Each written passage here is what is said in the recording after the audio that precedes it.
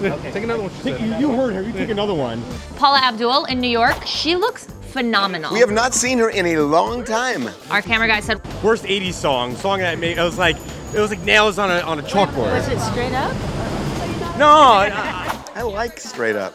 I like her songs too. You know, she supposedly has like the most amazing vagina. What? Paula Abdul? Yeah, she's supposedly the inspiration for Sunshine and Harlem Nights.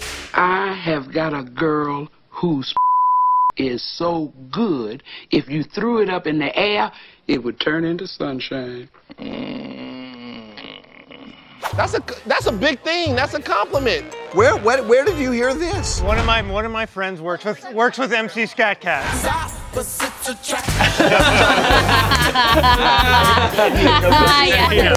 Thank you. Have a great evening. Thank you. dear.